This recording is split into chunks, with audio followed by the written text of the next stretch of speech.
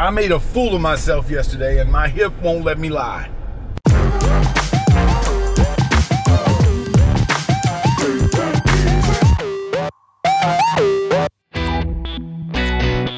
See that? You know that? That's coffee.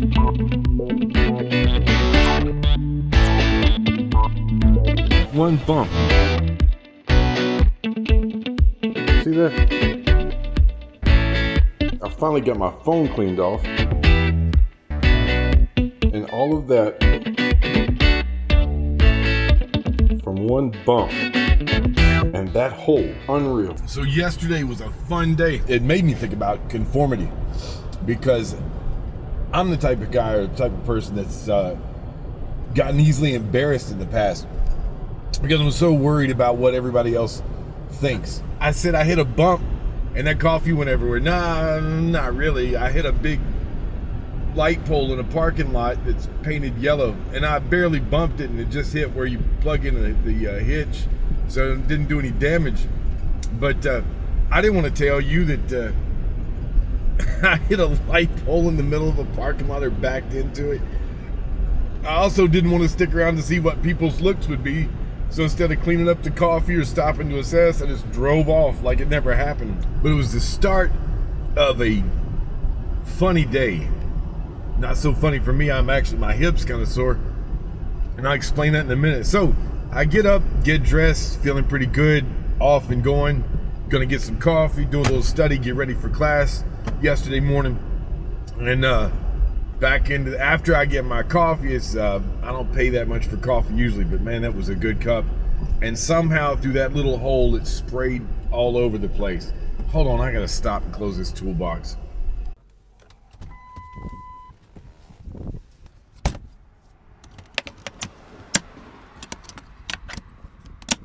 Driving me crazy.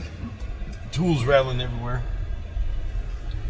Anyway, so that's how the day started yesterday with the big coffee spill through that tiny hole that seems to defy physics, but I did it. Then I get into class. Class starts around 10 o'clock. I'm in there cleaning up. Well, I come back to the car, try to clean it up, try to clean up my shirt and get all that off. It ain't happening. So I had Gabriel, my youngest son, bring me a clean shirt when he came up and uh, so now I'm ready to go, right? So I start class and I'm barely into it. And I get Gabriel, we're kind of old school. So we have those little welcome cards that you, uh, uh, or visitor cards, whatever, that you fill out and you stick it in the collection plate as it goes by and kind of gives us a record of who is there or if you have any needs. And Gabe has taken one of those and written on the back of it. And uh, I'm sorry, Gabe, but the handwriting just terrible. So I could barely read it. I had to get closer, and he's got it held up, and it says, Your zipper is down. Yeah, slick. The funny thing is, the kid told me he noticed it before class started, but forgot to say something. Ah. So I got a couple of options. I can walk to the back and try to be coy about it, or I can just turn around and handle my business and tell everybody what I was doing. And I took option B and just figured, oh well, suck it up and forget about it. Thought I might give you something to look at while I finish this up, these thoughts. We'll test out this dead cat microphone cover on this uh, mic, on this, yeah, microphone cover on this microphone. Smooth. Anyway, not far from the house,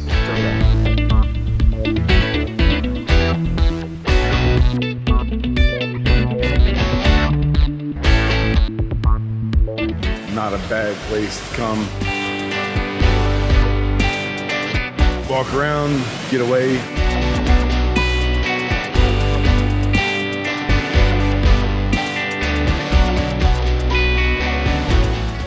Noticed I'm walking with a little bit of a limp, just sort of some pain in my hip. And I realized uh, it's because of the third thing that happened yesterday morning. So I get done with preaching and uh, we get done with the Lord's Supper at church and I'm standing in the back and there's a little man who's not much more than a year old who likes to uh, uh, likes for me to hold him. So I'm holding him in the back, standing up, and my sister takes off, sort of runs out or hurriedly leaves the auditorium and heads downstairs. And I think, man, maybe something's wrong. So after she heads down the steps, which is like a couple of turns and a couple of platforms, I take off with Little Man with Bowen. And uh, we head down the steps. And I thought I was at the last step. You know how that goes. And down I went, 280 in a small hallway, bounced off two walls, hit the door, glasses fell off. Never hurt the kid, spared him for sure. His grandma comes running down to check on me, and half the people up there heard this big banging around. So what you gotta do, you, start thinking of verses like uh, 1 Corinthians 10 and verse 12, therefore let uh, let he who thinks he stands take heed lest he fall. And I didn't, and down I went. So between the coffee and the zipper down and all that, you, you put your pride in check. You start thinking, uh, you, you just got to admit it. Yeah, I fell down the stairs. Yeah, I left my zipper undone. Yeah, I had to change my shirt because I spilled coffee because I backed into a pole, a light pole. And uh, that's how the day went. Now, where does all that come in? Well, that can uh, cause you a lot of embarrassment. As I've gotten older, it hadn't bothered me quite as much. Hadn't, uh, you know, to admit that I'm stupid or do stupid things or whatever. To some degree, we all care about what people think. And that was where my pride and my ego had to be put in check yesterday. And I know some of you are saying, uh, oh no, I don't care what nobody thinks about me. Shut up. Yeah, you do. In some way, shape, or form. Maybe not as much as I have or other people have, but you care. And why do you think I'm out here in the what looks like the middle of the woods, away from everybody else? Because I'm not, still not comfortable uh, out videoing in front of people. I'm worried about what they think to some degree. You know, you worry about what you, you're concerned about what people think, but then it gets to conformity. I'm told in Romans 12 and verse 1 not to be conformed or do not be conformed to this world. Don't make myself look like everybody else. Don't look for everybody else's approval around me, but instead be transformed by the renewing of my mind silly. Yeah, it's just a fun way to share with you some of the dumb stuff that I got myself into yesterday. Um, is it a stretch? No, because at the end of the day, it still comes back to what people think. And I'll tell you the first things that ran through my mind in explaining how I got coffee all over myself or explaining uh, about how I went down the steps so rapidly. And I'm ashamed to say the first thing that went through my mind was how am I going to explain this away? No, because you want people to think you're okay. You want people to uh, approve. And even in, I went down, even in some small way, uh, that illustrates the need to, or the, the feeling of a need to conform. One of the hardest things in the world is just to be you, even as dumb as that is sometimes. All right, I hope this helps in some way. Maybe gave you a little laugh, shows you how silly I can be at times. You guys have a good day. It's cold out here, and I'm out. I want you to subscribe. I'm asking you to subscribe. And I'm asking this car to go in reverse too. I'm asking you to comment. A lot of you will comment talking to me or talking to other people. Comment on the video down below. Go down there and comment. Like, dislike, get engaged. You some of you have told me that the music is too loud. Some of you have told me that uh, maybe you should try this. Comment, engagement, it helps. You conform in some ways.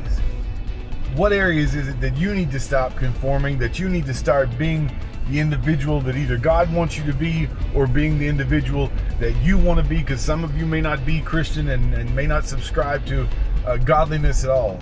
But what is it you need to stop doing to gain other people's approval or to have them uh, not look at you weirdly.